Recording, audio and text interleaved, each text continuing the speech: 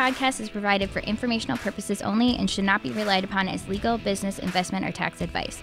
All opinions expressed by podcast participants are solely their own opinions and do not necessarily reflect the opinions of RCM Alternatives, their affiliates, or companies featured.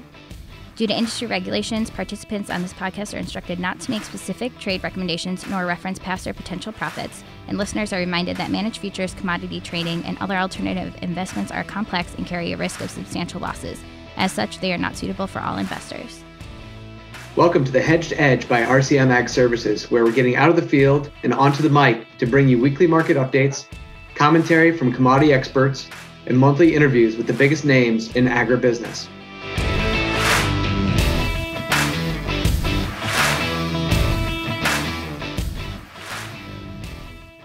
Welcome to this week's edition of the Hedged Edge. I'm your host, Jeff Eisenberg. We like to bring industry veterans onto the podcast.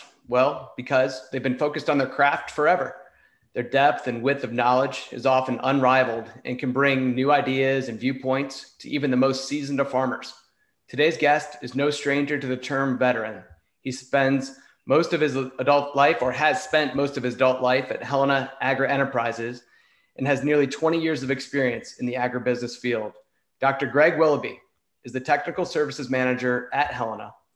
We're excited to talk with Greg about the current trends and future of agronomy on today's episode. Thanks for joining us, Greg. Thanks for having me. Great. So you tell me uh, you're you're in Lafayette, Indiana, right now. Is that uh, is that right? You'd say you just moved back there? So yeah, so I'm actually a, a native Kentuckian. Uh, grew up in South Central Kentucky. Went to Western Kentucky University, so I'm a hilltopper 1st mm-hmm. um, and then moved to Indiana uh, and got another doc. Got my doctorate at Purdue University, so I'm a hilltopper boilermaker. And, uh, so that's, nice, nice. All right. Well, the boilermaker. That's where I reside. Uh, say again. So, so that's where I reside at.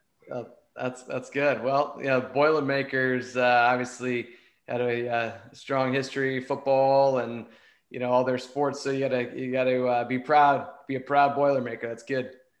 Um, yeah, well, coming from Kentucky, you got a pretty good basketball SEC background too. So. Oh, all right. Yeah, we'd like to talk Ohio State basketball here where I'm sitting, but uh, you know, I guess we'll we'll battle that one out in the, in the right. next uh, yeah next round of the tournament. But, there you go.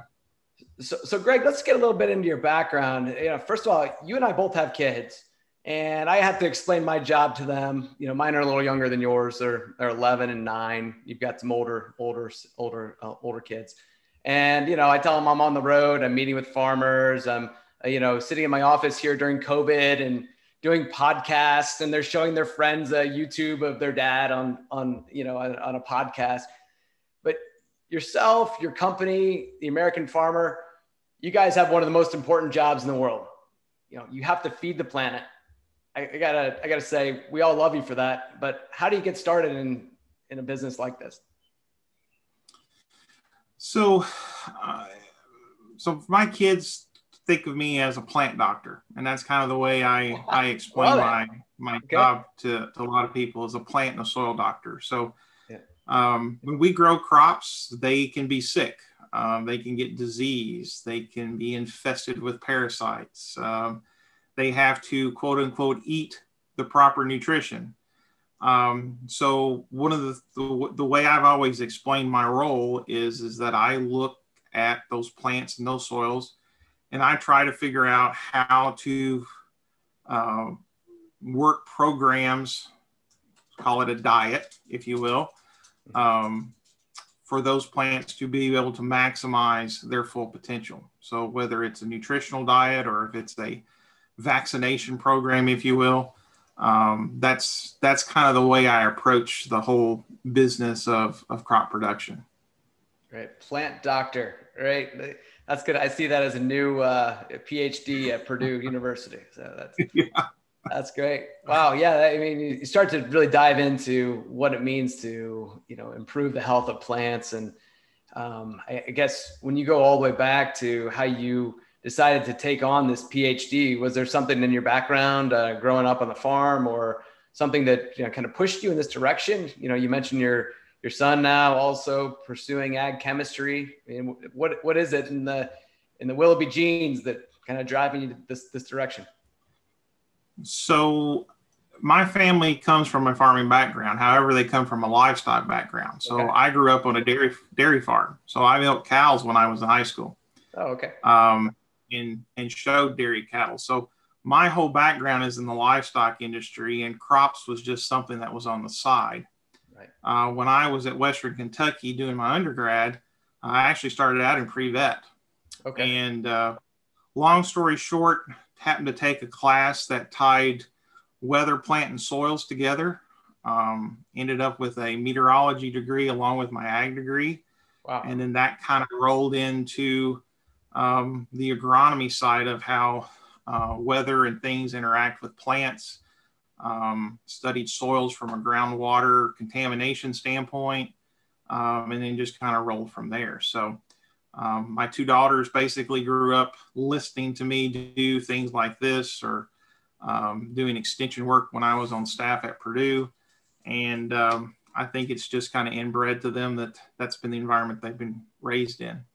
So, well, I, I have two daughters as well, and uh, the older one certainly on the environmental track. So maybe uh, I need to have her come and visit with you uh, a few days.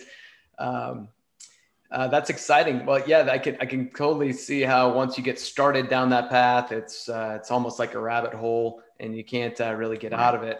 And the timing for you and getting involved in that in the I guess mid to late '90s, um, you know, we've seen a tremendous amount of growth and progress with uh, uh, seed and chemical, and you know transitions from you know GMO uh, you know, GMO to non-GMO and combinations of all of that. And I guess uh, before we get into some of those nuances, I guess tell us a little bit about Helena and, and the work that you're doing for them. You know, obviously a massive company, uh, over 6,000 employees, 500 branches. I mean, you guys are really at the heart or the pulse of, of this uh, agriculture economy. Um, tell us a little bit about the business. Yeah, so um, so Helena operates um, in the continental United States. Uh, so we have retail sales in all 48 states. Um, and we have done some work in Hawaii as well. Okay. Um, we're about the, I think we're the second largest uh, agricultural uh, distribution company in the United States. And so we touch a lot of people. We have both a retail side uh, and a wholesale side. So you may be buying directly from a location that has a Helena sign in the front yard, mm. or you may be buying from a local independent um, who we're actually supplying the products that goes into their warehouse. Okay. Um, and so that gives us a great feel for the business in that we have a direct contact with the farmer group. So we understand what the farmers are actually going through. Uh, but then on the flip side, because we have wholesale, um, we actually are tied into the business end of the deal to understand supply and demand and um, manufacturing, um, supply challenges, which we're getting into this year. Um, and um, so, so we have a pretty good feel of the whole whole gamut. Uh, from my role, I get to work with both sides. Um, and then I'm on the research and development piece. So I get to look at things that we develop from scratch or that we have access to from um, agreements with uh, other suppliers internationally.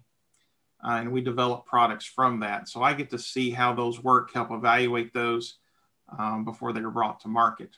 And then there's a group of agronomists that I work with in the Midwest um, that um, further that information transfer uh, down uh, through the sales chain uh, to the local uh, individuals in the areas.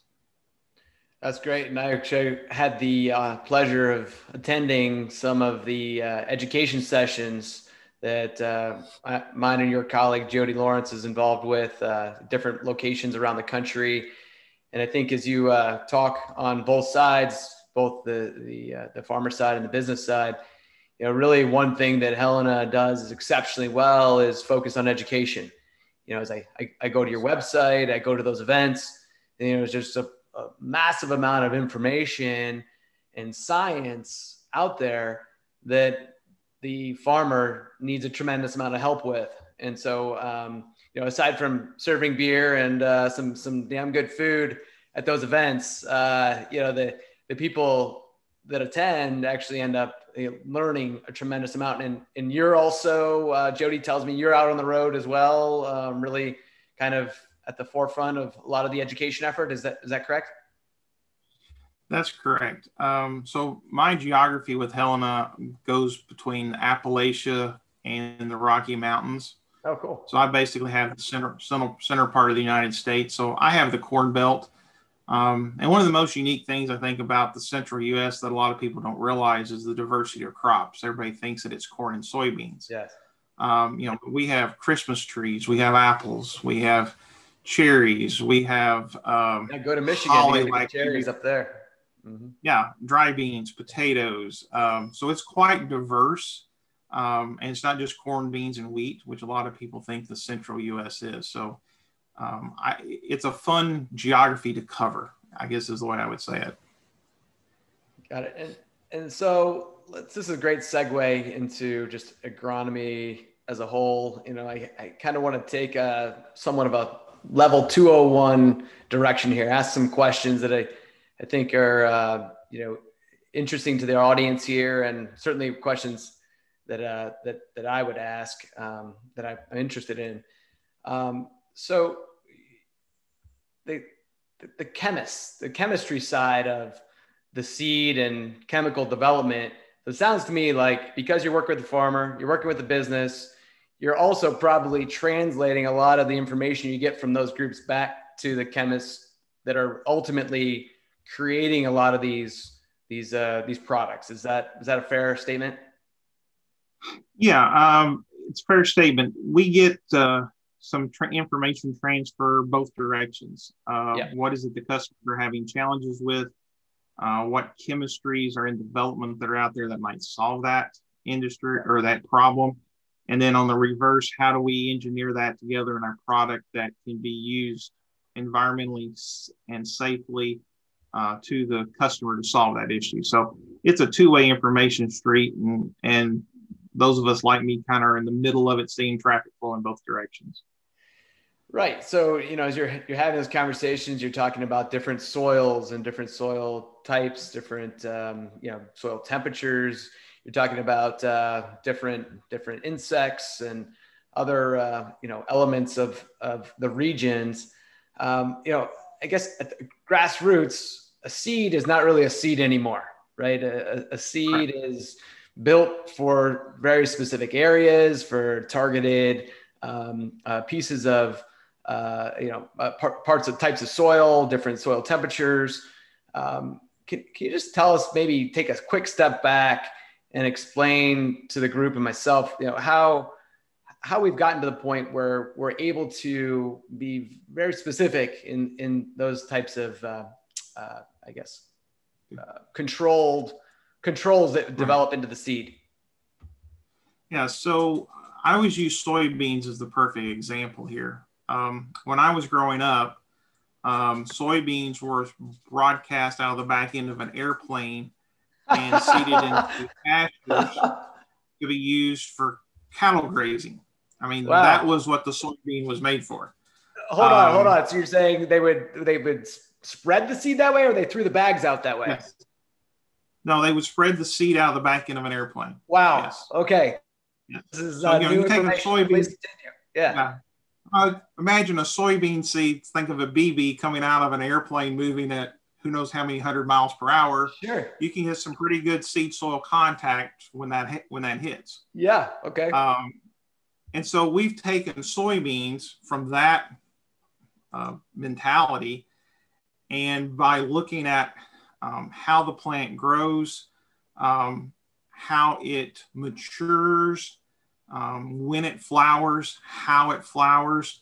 Uh, we've been able to select that uh, soybean to the point where now, you know, we have group beans, beans that are growing in certain latitudes that's tied to really the length of night um, that that soybean encounters, wow. which is what triggers reproduction. It's not the length of the day; it's the length of the night that okay. triggers reproduction. And and then farmers have further took that concept, and they have manipulated that to where they treat they uh, plant beans that are of different maturity groups to help spread their harvest window out. So okay. things mature at a different rate so that everything doesn't mature at the same time. Um, so, so that's really a good example of how just selective breeding. I mean, there's no transgenics involved in that. That's just simply breeding techniques. Um, you, have accelerated Darwin's uh, natural selection process. Correct. Correct. Correct. Excellent. You know, in the case of corn, we have to remember that the native corn plant had the ear of corn as where today the tassel is. Got it. So the top of the corn plant was the ear. And you go back into the Mesoamerica time frame in Central America, they started selecting individuals and slowly that evolved to the 70s where we have a corn plant that looks the same. Right. And then we had the whole green revolution of being able to develop a hybrid where we take the pollen from a male plant and we put it on another plant that does not have any, has had the tassel removed, and we create a hybrid corn that has a higher yield potential. Again, all that without being transgenics. Um, that's so just, trans, just to clarify, transgenics. You're saying this is natural. This would be, you know, like a non-GMO right. effort, correct? Correct, correct. Non-GMO effort, effort. So you know, then when you get into the to the 90s, we start introducing the GMO traits, to where we start taking um, BT is the was the one of the first, which BT is an organically labeled pesticide okay. that organic producers can use on corn, and we inserted a gene into corn where the plant produces that itself. Got it. So this, so, limits, just to clarify, that limits the need to add additional herbicides onto the plants, or you know, limits the number of sprays or uh, something along those lines. Right. Okay. Correct. And so, so once we understood that technology of, of how to insert genes, then you know, we started identifying genes uh, from different uh, plants or from from bacteria, et cetera. And so that's where we have now developed where we have plants that we can spray herbicides on that don't kill the plant, but it still kills the weeds around it, or right. it produces something internally that bugs don't like it uh, when they try to eat it, and so the bugs either die or avoid um, that plant. So that that's kind of the whole big picture evolution as far as corn and beans goes of, of kind of where they started, how we did what we did to a point, and then where science kicks in has been able to take that to the next step. And in the process, we have actually decreased the total pounds of pesticides that go into the environment or into the food situation um, because those plants are have some defense mechanism built into them in a lot of cases. That's impressive. I think uh, more environmentalists need to uh, understand that because you know that's truly an advancement in our in our you know i guess in our technology because what i'm imagining if we don't do this suddenly as our farmland and the amount of production has increased over the years we're having more spraying which means that you're going to have more runoff or at least more aerosols in the air or whatever it might be that impacts the rest of the environment. But in this situation we're going to be very targeted and not need to add on that extra chemical Correct. Correct. Yeah. And also, and also you charge more for the seed. that would be the marketing side of the equation. All right. Yeah. Good. Go ahead. You had something. Please continue. No. No. Go ahead. Yeah. Well. Anyway, I think that uh, that's that's been a phenomenal uh, ad- advancement, and I guess um, that it kind of bridges the conversation between uh, that, I, that I wanted to ask next: GMO, non-GMO, um, you know, everything you read, people organic. How much advancement? Um, um, I guess how much growth have you seen on the on the, the non-GMO side in the last number of years? Is you know, it's become a I don't want to put it out there as a marketing ploy, but the reality is you read the label, it says non-GMO, it says organic. People charge more that, but you know, right. You know, how are you guys uh, seeing that growth, that growth pattern affect your business?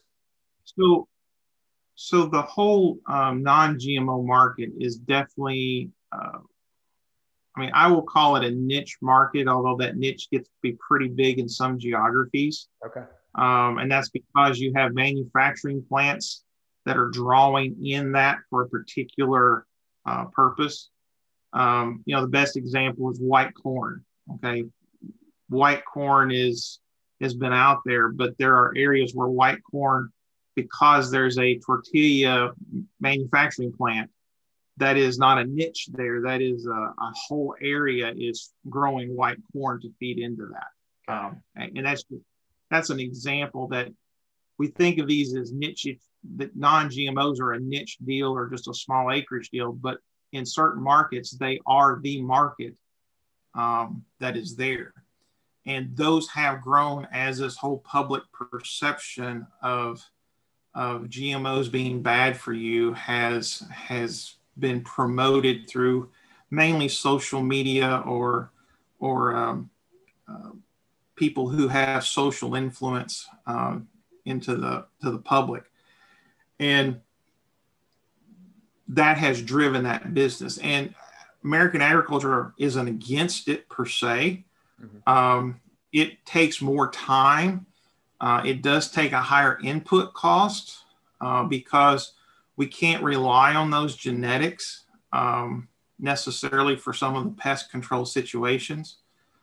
Um, and so that adds cost as well as labor. Right. Um, and so that does cause a higher input cost, um, but then there is that reaping of additional benefit um, to the marketing piece of this as a non-GMO containing product. Um, and, and, we can't rule out the fact that there are some um, uh, not fair players in the field um, I go back to my dairy industry for an example, just a simple example is that there are people charging more for a gallon of milk saying it's antibiotic free. Oh yeah, I was just at Whole Foods the other day. It's seven dollars for a gallon of milk. Yes. Come on. Yes. Um, if it's just antibiotic free uh, and you're paying more for that, um, you cannot sell a gallon of milk in the United States that had test positive for antibiotics. Got it. So they're putting on the jug literally what is the regulation to produce milk, but right. they're charging a premium to it to the consumer because it makes that consumer feel better that there's no antibiotics in the milk, but there's no antibiotics in any milk that you buy. Right.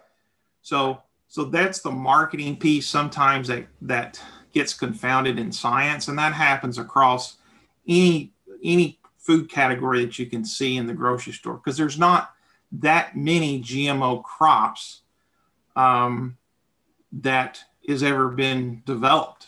Um, so, but yet when we look at ingredient list or advertising, we see a lot of things that says non-GMO, and there's nothing that's in the ingredient list that there's even a GMO crop exists in that species of crop.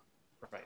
So, so there's some there's some not so couth marketing involved in some some aspects of that uh, system. So for a farmer, they have to really understand all the inputs and all the work that goes into effectively deciding which seed they put in, depending upon you know if are they uh, doing no-till, are they doing a GMO farm or non-GMO, whichever farm. So they have tons of information that they have to digest, and that's where your team and the the local representatives all really support that process, right? They're an advisor effectively to the farmer to help them through this minutia of uh, information in their area, their region. Is that is that uh, is that about right? That's correct. That's correct, and and even goes beyond that because in some cases, particularly in the, the specialty markets, mm-hmm. um, there has to be a record of what has been applied or grown previously in that field. Right. And so the farmers' records, as well as our records, come into importance if he wants to try something different in that field of what the marketability of that could be, not only from a pesticide carryover standpoint, but just simply from if they're trying to grow something that has an organic certification.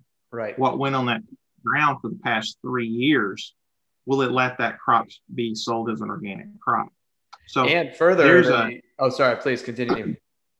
I was going to say, so so there's an important part of us advising and keeping our records, but as well as the grower themselves right. keep accurate records, so that we can work as a team to help move that farmer into the direction that he's wanting to go from his desires to be more profitable in his operation.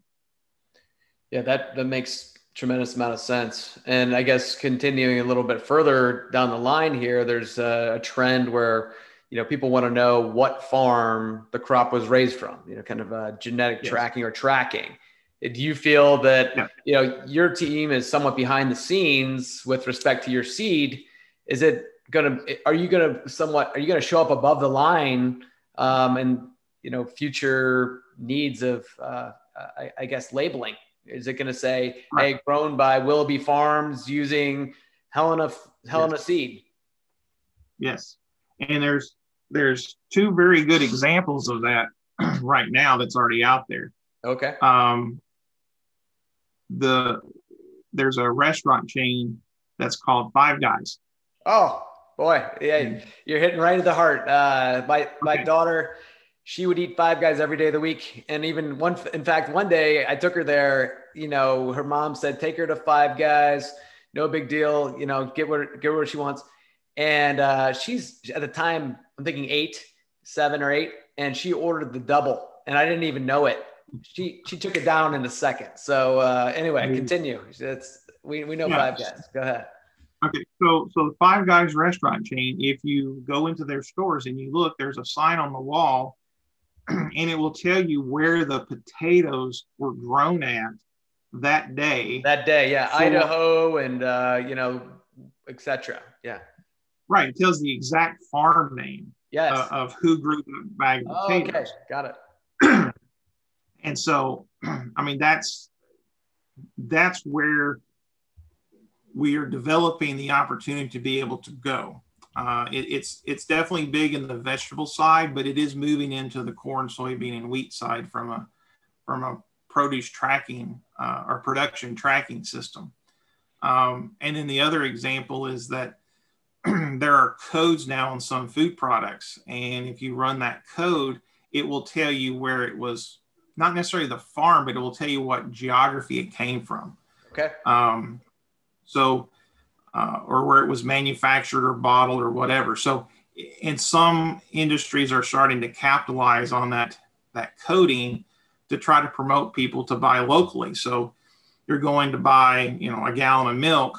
Let's look and see where that milk come from. Did it come from your local area, so you're you're supporting the local market, or was it grown or produced in another state and then transported in? So, so there's different ways that food uh, traceability is coming into to the situation, both from a individual farmer marketing their product specifically to let's support the local farming industry because this is where this product was produced from from a geography standpoint. I love it. I think and it's in both great. cases, yeah, more information, the, the better, and uh, it's, it's good for the local economy. So.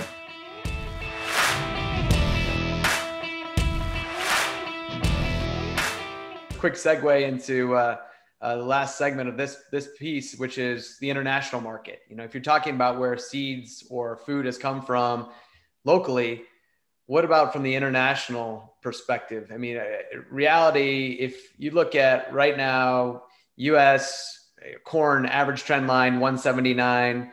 Uh, you look at China, they're at 100 um, on their average yield in corn what's it going to take for the rest of the world to really catch up with with with America? Is it uh, a combination? You know, I guess, or maybe why are we so far ahead? Is it a combination of all the ingenuity you just described, plus uh, our machinery, our irrigation efforts, and just good old American hard work?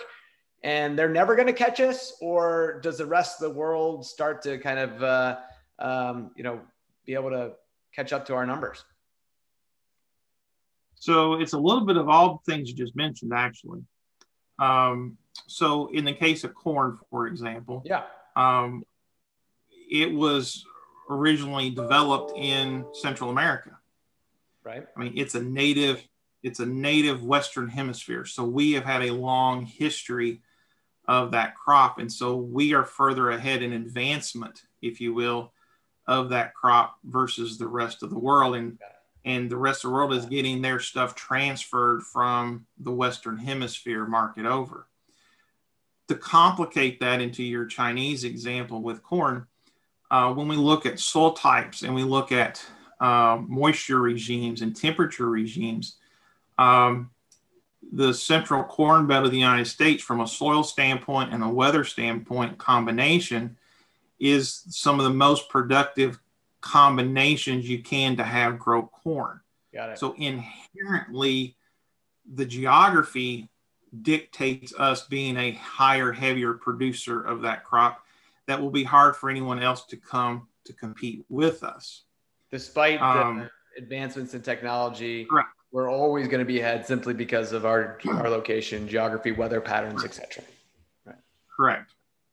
Um, I'll use wheat as a as a contrast there we do a good job growing wheat, okay?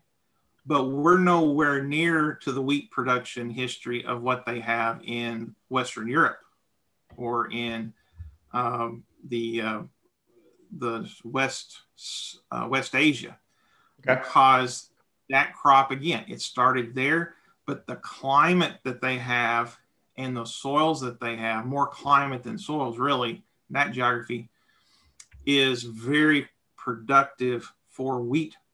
Rice as well, probably you would uh, put in that category. So, yeah, so rice would be you know different geography, but a different weather pattern.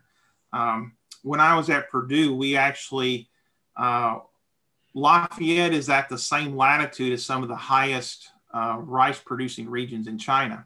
Okay. So when I was at Purdue, we actually had some Chinese researchers come over and we constructed a wet area for them to grow rice in because it's the same day length, it's the same weather pattern, it's it's submerged in water, so soils don't necessarily enter into the to the large conversation. How did, how did it shake out? I'm curious.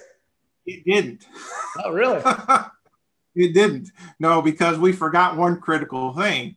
Most of the Midwest is tile drained. Got it. So it's hard to flood an area when there's tile drainage everywhere around it. Right just just spreads so, out. Yeah, disperses. Spreads out. So so again, if we want to go plug every tile line that there is in the Midwest and flood everything, we could probably grow rice. Right. But that's the only crop we could grow. So so my point in those examples is that there is always a technological advantage to where that crop generally is developed at from a historical evolutionary standpoint, if you will. But second to that, weather and climate control everything. Right. I mean, Western Europe is like an Idaho, except it's multiple nations wide. Right. And Idaho is one of our highest yielding wheat areas in the in North America. Western Europe is like it's all Idaho. Right. From a climate standpoint.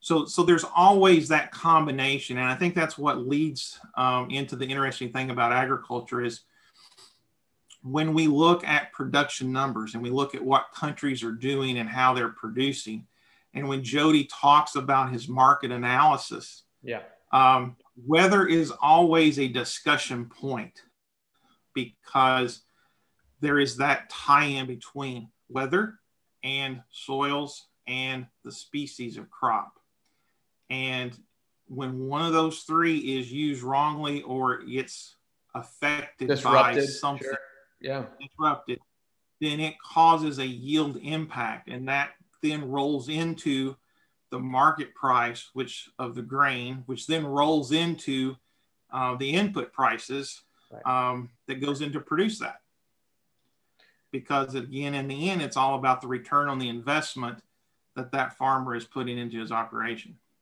that's great. Well, that's a perfect segue into the next section, which is current trends. So we may as well continue on with weather. Um, you know, you were talking before this, the uh, long-term forecast, you said, uh, well, I think we all know for you know paying any sort of attention is a uh, is a little unstable. So uh, maybe give us a, a, current outlook as to what's going on here in uh, uh, you know across the country. So what's happening right now is we're in a transition. Um, there's an 80% chance that for the growing season this year, we're not going to be in an El Nino or a La Nina um, weather pattern. Okay, and no man's land. Two, All right. Right, we're in no man's land. um, when we're in El Nino or La Nina, that typically gives us a cooler, drier, or a uh, wetter um, weather pattern setting in. So we kind of know which way we're going to go. But when we're in this neutral zone, we're not for sure how things are going to, to develop. So the three month forecast, if you will, or the seasonal outlook gets to be a little hedgy. Um, so right now, what we know is that uh, we have a severe drought in the western part of the U.S. Right. that's moved into the western part of the Corn Belt. And it is severe enough that it isn't going to change. It's probably just going to get drier as the season progresses.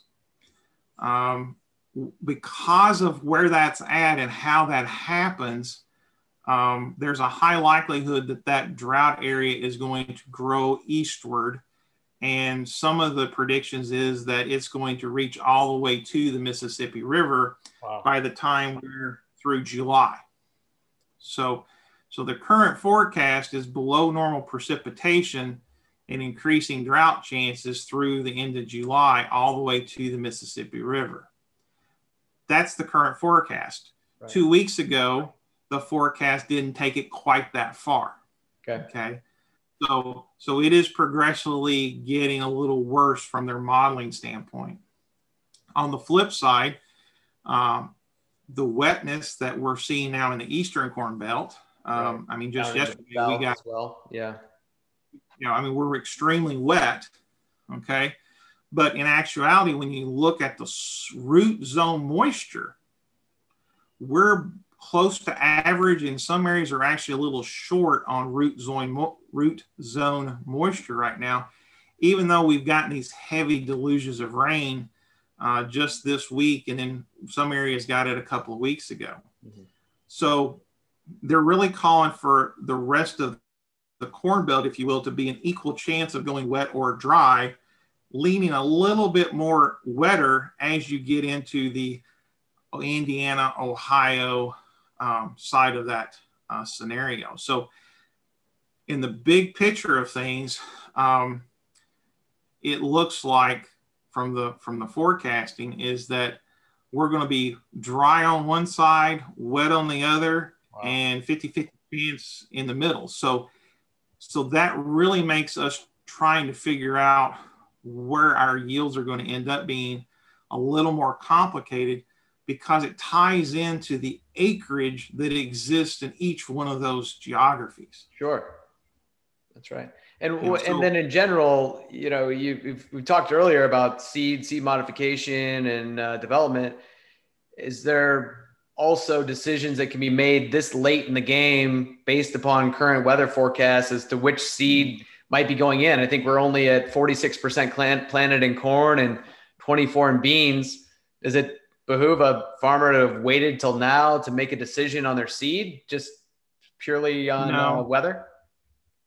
No, it doesn't. Um, in the long run, you're not going to outguess Mother Nature, and the and the variations we have within corn or within beans from from being able to handle weather extremes um, isn't it worth the uh, effort to try to manipulate that minor piece? Um, that's one part of genetics that we really haven't got figured out very well. Um, we have made corn, for example, as a whole, much more resilient to weather fluctuations. Okay. Uh, moisture fluctuations, heat fluctuations. So it's much more resilient than what it was, say, 10 years ago. Okay. But being able to say, hey, you know, this is this is corn that worked really good in a drought, and if it's going to be a wet year, you should use this. Uh, we we've not progressed really to that point. But it may um, affect the chemical treatments or uh, those types of decisions, right?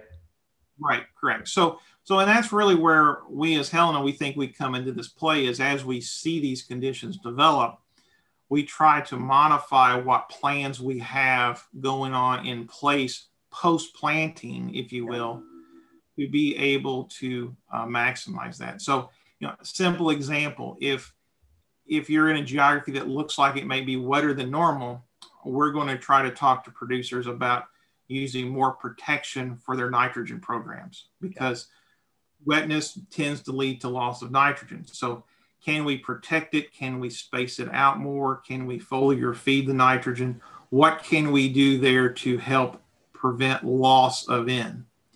On the reverse, if we're in a dry area, there are certain elements um, that require water to move into the plant. So right. if we don't have irrigation and we're in a dry area, we're going to talk about trying to foliar apply some of those elements to help nurse that crop along. Uh, long. Uh, we can't supply everything that the plant needs through the leaf, but we can help it through stress events or deficiency events with foliar applications for some elements. So that's where we try to come into working with the grower from a Helena perspective is trying to modify those programs in season or plan from a, uh, a retail standpoint of making sure we have those products available in stock in warehouses that if that develops, we can pull that in to supply the farm in a short time frame instead of waiting for something to be made or be shipped in from overseas or things of that sort. That's yeah, it's truly amazing, right? It's, uh, it's at that point it's more of art than science, right? Or maybe still you feel a combination, but I mean, every field's different, right? Even in a small geographic right. area. Right. Yeah, it's all about planning for the worst, hoping for the best. yeah, the uh, eternal optimism of the farmer, absolutely. Yeah. Um, you know, here we are. We're basically uh, seeming like an average um, planting pace how how does that typically impact? You know, if you're early, if you're average, if you're late, how does that typically impact yields long term for that growing season? So, so in general, the earlier the corn goes in, um, the higher the yields go, with okay. the exception of drought during pollination or okay. excessive nitrogen loss. Okay, so so you take the temperature moisture out of it and you just talk about planting dates earlier planted corn tends to yield higher than later planted corn. On soybeans, um, it's one of the things that just recently we have learned, and by recent I mean within the past say five years. Uh, we used to think that that soybean planting date we had a lot more flexibility. Um, some recent work that was funded by the American Soybean Board showed that across multiple universities, found that there is a planting date issue, and if you are if you are planting full season soybeans, um, you know middle of May is really when you need to have those beans in the ground. I get them in. Got it. Yep. Yep. And if you're planting full season and you go after the middle of May, there is a yield, a substantial yield hit um, to that plant because of that. So, so, so planting date does enter in. Uh, beans the earlier it is, the better. It's not necessarily, but there is a drop dead kind of date mm-hmm. of mid May of when there's a major change in, in yield impact.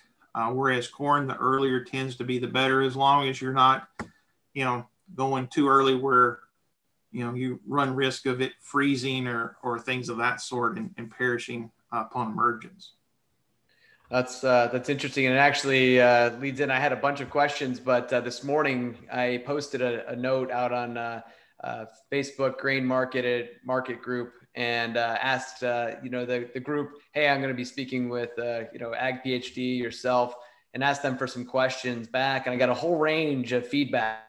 And one of the questions was simply that: is that you know what issues um, is there planting beans prior to corn other than frost? And you just kind of said, well, frost is the biggest thing. If it if it freezes, trouble. Yep, yep. And beans typically, uh, beans can be planted earlier than what we normally think we can plant beans at. Um, I mean, as I said, we don't get stupid, uh, but I mean, we can plant beans at the same time we plant corn and have just as much success as we can of waiting until the end of April, first of May. Um, so, so I, I, I have no problems with beans going, beans going into to the ground. Um, you know, in in you know the third week of April or or even mid-April, depending on the latitude that I'm in. I mean that that doesn't bother me in the least. Um, in addition, we typically overplant beans anyway. Um, you look at some of the new work that's come out on optimal bean planting populations compared to where the average bean population is being planted at. Um, we can lose several thousand plants and not impact yield at all. Uh, we, we, tend to, farmers tend to overplant beans as a general rule okay. uh, across the, the, across the spectrum. Well, they go ahead and they plant with the planners, and they uh, send the plane up and drop a few more in, right? right. Yeah. well, you got to realize when beans first came out into no-till, the population was you know 200,000 plus, okay. but it was for weed control. We didn't have any good options for weed control, so you wanted to cover the ground quickly. Well, as we've got better weed control options, we've pulled po- populations back, but we've never pulled them back far enough to really see the the optimum population because we still are used to seeing these fields covered, you know, having full canopy cover fairly quickly, and it's it's a hard thing to mentally get your mind used to that I'm going to still see the ground for several weeks right. into the growing. Season. Right. It's so, scary. It's a scary mindset. Yeah, it is. Everyone wants to it know: is. Are you seeing any emergence? Yeah, you know. Right. It, yeah, it's happening. Correct. Um, another question along those lines is uh, that can, again came from the uh, the post. It said, uh, "When is the best time to apply nitrogen to get your best bang for your buck?" And they also wanted to know if biologicals are worth it. So on the nitrogen front, I again, it's got to be regional by region, right, to determine and, and weather related uh, not totally. Um, there is there is old stuff and new stuff that really shows that the more you split nitrogen across a growing season, there typically is a yield response to that uh, division of nitrogen versus putting everything up front in front of the plant. Okay. Okay. Now, definitely, if you get into wetter conditions or you have poorly drained soils, um, how you separate those pieces out as far as the amounts that go in in whatever timings you decide to do get shuffled um, but in general uh, it has pretty much been shown that spacing that nitrogen out splitting it two or three times throughout the growing season um, does have an economic advantage in the end from a bushel standpoint right. and I always bring up the point that you're then able to adjust your rates based on what the weather is showing you. Uh, if you see it's going to be turning dry, you may not want to put your original nitrogen amount out because you see you're going to be uh, hot and dry during the pollination window. So your yields are going to be impacted, so you don't need as much in. So when you space it out, you actually have some flexibility to help adjust those rates based on the weather um, situation that you see coming. Um, you know, 30 days out, let's say, I'm not talking three months, but you know, two, four weeks out, you can make some adjustments to that and, and could potentially save money slash make money. If the weather is good, you may want to put a little more nitrogen out than normal because your yield potential goes higher and you can capture that.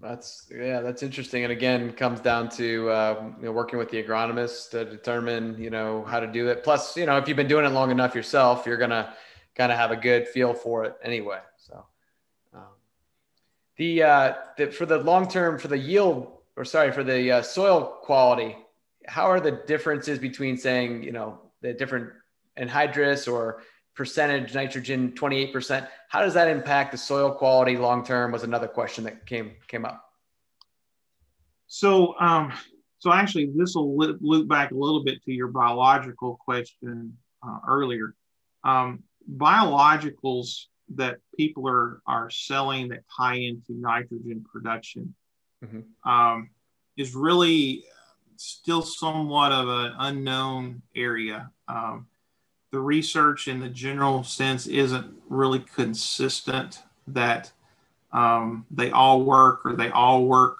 or it works all the time. Right. And so, so from my perspective as a researcher, I'm still in the let's walk before we run. Let's try it to get a feel for exactly what it can and cannot do. And part of that ties back to your question of soil health and soil quality. Yeah. Um, we know from work that's been done through um, the USDA's research facilities and other universities that soil quality affects nutrient cycling. And okay. so, if we have a strong biology presence, um, we can cycle nutrients better.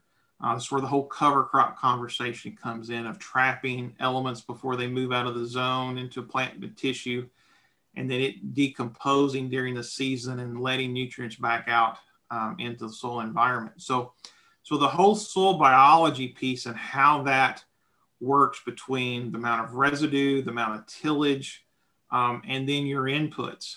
Um, so no doubt anhydrous ammonia is the most detrimental nitrogen source um, that affects soil quality and soil biology. I mean, it, it basically functions as a sterilant um, around that band um, and breaks down soil structure. Now the soil recovers, but you have impacted negatively the soil quality there. When you look at that versus UAN, 28 or 32, same difference, ammonium sulfate, urea, uh, ammonium nitrate, etc.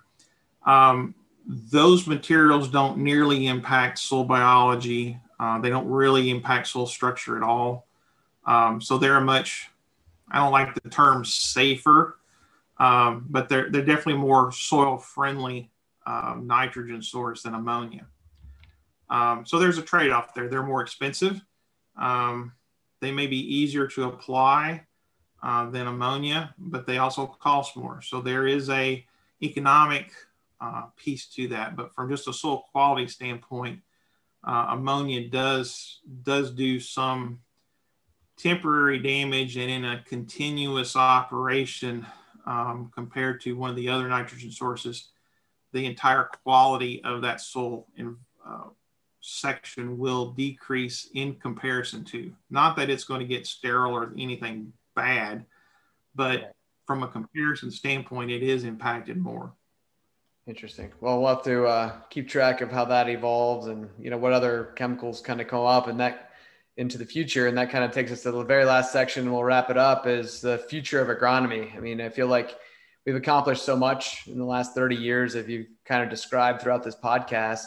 I mean, I guess what's on the horizon now to kind of keep pace with increased trendline yields and uh, the growth and ingenuity of, of this business? What what is uh, what do you see coming down the pipe that you know the rest of us are you know only dreaming about? I think. Don't give away the old company secret now. I know you've got the keys to the car there. So. So, so the thing that fascinates me the most is uh, I contrast uh, European agriculture to the American agriculture. Okay. Okay. Um, if you've ever been to Europe and looked at their agriculture or just paid attention as you drive through, I mean, we have to remember those soils have been farmed uh, intensively for thousands of years. Right. Okay. Um, North America, South America are relatively young in their agricultural development use. Right. So when we look at production, uh, a lot of times it's about uh, covering more acres faster, absorbing more acres from from smaller farms that um, decide to, to cease that operation from, from the family perspective or another family absorbs it, etc. In the European model, it's all about trying to squeeze every bushel out of the footprint of the acres that they have. Right. And so, so one of the things that I see that still fascinates me is looking at things that they do, both from the plant health standpoint, from the soil health standpoint, Um, all those things that farmers can do to increase production per acre, and how do we scale that to a point where their 40 acre field, that's the entire farm in Europe, becomes the 4,000 acre field in North America. Right.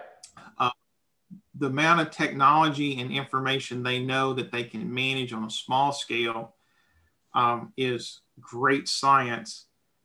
And the real challenge, I think, is trying to figure out how to scale that to fit the American, South American model of production that's large acreage. Um, I think that's one of the most interesting things that that we'll see develop. Uh, we've already seen a huge growth in in plant health products or biological products, and most of that it has some European background in origin. And I think that area is going to continue to grow, um, and we're going to have to understand it better and to be able to utilize it to its fullest extent. That's that's um, great.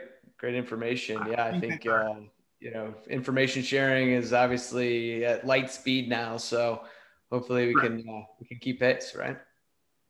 Correct. Yeah, I think that's the most exciting area we've got. Not to take away seed technology or or chemistry development from from pest control or things of that sort, but I mean we even see now some of the basic manufacturers acquiring biological companies from Europe. Wow. Uh, and, and they're doing that. And then you start seeing uh, the most common thing we've seen now lately is the introduction of different types of biologicals into seed treatments uh, for sudden death syndrome, for uh, nematode suppression uh, in soybeans.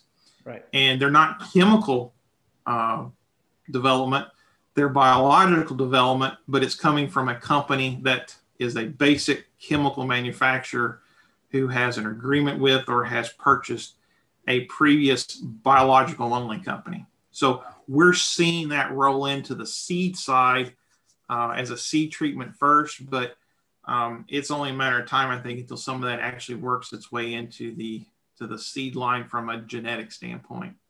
Yeah, and then obviously, you know, more pods on the beans, more years on the corn. I mean, eventually, yeah, if, if you want to get to 300 bushel corn, it's, it's, there's only so right. much growth in that area, right? It's either got to be taller, bigger, right. or fatter. So, yeah. Right. Exactly. Exactly. I mean, you, you there's just you either got to have more plants, or you got to have more pods or more ears per plant. Yeah. Or both. That's the only way you get more bushel. That's the only way. Yeah. And land right. is land becomes sparse over time. So, oh, good. Uh, Greg, this has been great. I got a couple uh, at the end here. We'll kind of wrap up, just close out fast questions, and then um, and then we'll uh, we'll let you go for the day. But uh, so so here they are, quick and quick and dirty. So if you had to farm anywhere in the country, where would it be? Now I don't want you to offend anyone, so this is your own personal preference. Um, actually, I would farm in eastern Nebraska probably. Okay irrigation, uh, it's good quality soil. You've got it all right along the aquifer. Right, exactly. Good quality soil, irrigation if you need it, but so you don't have to have it all the time. So you can control somewhat of your environment a little bit better. I like it. All right, good. Well, we're gonna be we're gonna see you out there. Hopefully, uh, one of these events coming up once we're allowed to you know leave the office again. Right. yeah. What, Let's hope uh, so. That's yeah, absolutely. Uh, what is your favorite podcast or book or blog to follow that kind of uh, uh, discusses agri- agriculture trends? Oh, uh, you can say you that's really hard for a research. want. That's fine. well, I, I would say that uh, obviously this podcast, um, you know, it's really hard from a researcher standpoint because I try to absorb as much as I can from as many different sources. Um, I would say that that there's not a particular source per se, but there are particular individuals that I look for okay. when they make comments or they make make statements that I tend to take very seriously and put more weight into what they think than others. Okay. You have any uh, specific one that I tip everybody off to follow? Well, so Shawn Conley um, and Fred Below are two names that that rank pretty high in, in my world okay. uh, from a corn and bean standpoint. Um, um, Shaun Casteel would be the, be another one. He's another soybean uh, guy. Those guys are at Wisconsin, Purdue, and Illinois. Um, those three individuals, I think, uh, set a trend of looking at things in a different fashion. Um, from a more from a production standpoint necessarily than a environmental or a research standpoint. And I think that's important in today's world in that we have passed the point of single inputs being a controlling factor for production. Right. It's really how do things connect, get together. For example, planting date in soybeans and maturity group. Right. Okay. Either one's not important. It's how those two interact together. Um, you know, fungicides with nitrogen programs. How do those two things interact together? Right. Um, sulfur applications and timing of the sulfur. Uh, it's not about pounds, it's about wins. Um, so I think those three individuals are kind of the top of my list when I look to see um, how things are progressing. Not taking away from any other researchers that's out there necessarily, but those three tend to be more uh, syngenetistic researchers looking for synergies between different systems than the basic research sciences are. That's great. Yeah, the University of Illinois, we know well. Scott Irwin has been on the podcast um, in the past, and they do a, they do a great job down there. So, um, you know, in the Purdue group as well, of course. So, um, yeah, and, and, I mean, I'm talking production. You start getting to weed science and pest science, and that's a whole different group of people. And, and right. a lot of times, that is where the basic sciences. So, um, you know, you've got uh, the Kruger group, you've got the North Dakota group, you've got the Purdue group with um, Bill Johnson and um, Bryan Young. Um, you've got Bradley out of University of Missouri. I mean, the, the weed science group are still, I'd still consider them more basic science type deals because we're trying to kill a weed. Right. Um, right. Directly. Get rid of those um, Whereas, right. Whereas the other three guys I mentioned are more production, seed selection, fertility programs, timings, uh, that kind of stuff together. And that's where I said I'm not taking away from the basis because it takes all of that together to produce that crop productively and profitably to the grower. Um, but each researcher has a different way about going about it. That's great. Well, I appreciate, uh, yeah, you dropping those names. I think uh, those would be some interesting groups for us to look into as well. And um, you know, if we haven't connected with them, we will for sure following this. So, uh, last question, completely off topic, and uh, so I will guess. Uh, question I ask all the guests is, you know, if you uh, if you had a favorite extreme sport, something that you've done or would do in another life, what would it be? Um, I've had all sorts of answers, so there's no wrong answer here. yeah. Extreme sport. Yeah, skydiving. You could uh, you could come up. You could you know cow tipping. You know, uh, I've had rugby. Uh, you know, anything you could think of. You know, I think the one that fascinates me the most is what people can do with uh, snowboarding. Yes. Extreme snowboarding. Um, just the physics involved in that and the coordination that has to happen, I think would would fit my personality better if if if I was willing to do it. we'll put it that way. That's great. Yeah, the flips and everything else that uh, they can do, and the ability to jump off a, a rock or anything. Yeah. Right. Impressive. Correct. Yep. Very good. Well, Greg, no, this has been a great day. I really appreciate a ton of fun. Uh, how do we get in touch with you, or how do our listeners get in touch with you and Helena?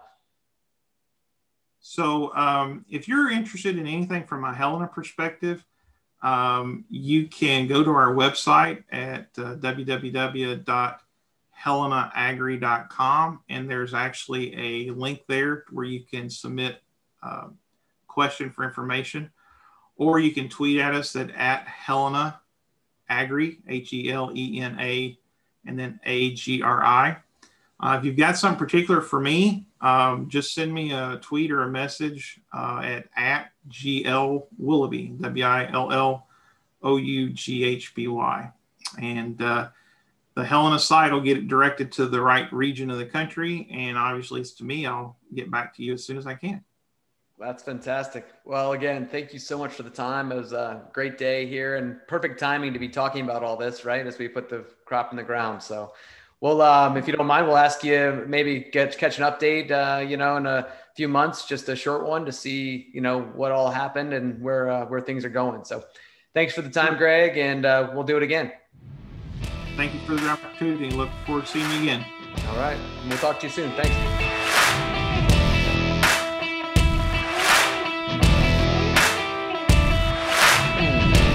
You've been listening to The Hedged Edge.